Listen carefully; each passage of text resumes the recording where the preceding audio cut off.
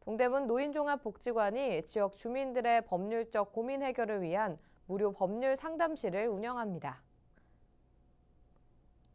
4월 23일 오후 2시부터 1시간 동안 동대문 노인종합복지관 2층 전문 상담실에서 법률 관련 문제 무료 상담이 이루어집니다. 대한구조법률공단 서울 북부지부와 연계해 지역 주민이나 복지관을 이용하는 어르신 8명을 대상으로 일상생활에서 발생하는 법률적 사항에 대한 전반적인 상담을 받을 수 있습니다. 참여를 원하는 주민은 전화 예약 후 해당 일의 복지관으로 방문하면 됩니다.